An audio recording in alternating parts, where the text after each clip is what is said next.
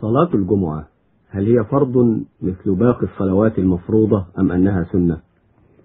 أجمع العلماء على أن صلاة الجمعة فرض عين وأنها ركعتان.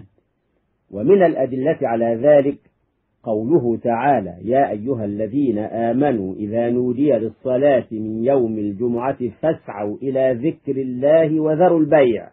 ذلكم خير لكم إن كنتم تعلمون.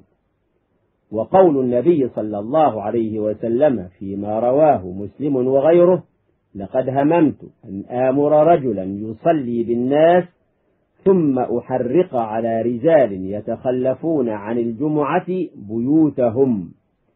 وكذلك قوله صلى الله عليه وسلم فيما رواه مسلم وغيره لينتهين أقوام عن ودعهم الجمعات أي تركها أو ليختمن الله على قلوبهم ثم ليكونن من الغافلين.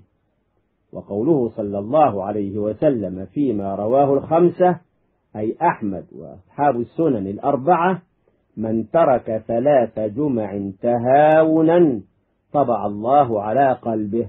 تلك أدلة تدل على أن صلاة الجمعة واجبة على كل قادر عليها وليست سنة والله أعلم.